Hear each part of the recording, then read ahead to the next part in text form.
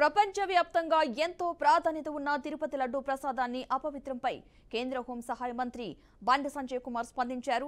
లడ్డూ కల్తీకి పాల్పడిన వారిపై కఠిన చర్యలు తీసుకునేందుకు కేంద్రం సిద్ధంగా ఉందని బండి సంజయ్ అన్నారు.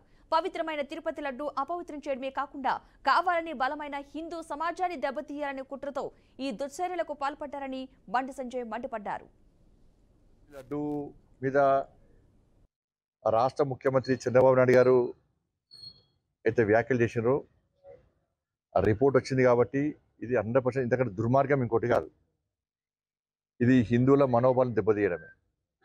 అనేక మంది పీఠాధిపతులు మఠాధిపతులు హిందూ ధార్మిక సంస్థలకు సంబంధించినటువంటి పెద్దలు సామాన్య భక్తులు ఒక భక్తి భావంతో తిరుపతి పోయి తిరుమల పోయి స్వామివారి దర్శనం చేసుకొని ఆ లడ్డు కోసము ఒక ఊరు నుంచి ఒక వ్యక్తి తిరుమల తిరుమల దేవస్థానం దర్శనం కోసం పోతే ఆ చుట్టుపక్కల ఉన్న వాళ్ళందరూ కూడా లడ్డు కోసం ఎదురుస్తూ ఉంటారు. దర్శనం వేసిన వ్యక్తి లడ్డు మస్తలే తిరుమల తిరుపతి దేవస్థానం వేసినట్టు అంత పవిత్రత అంత ప్రాధాన్యత కూడుకున్నట్టు పవిత్రమైన ప్రసాదం అది.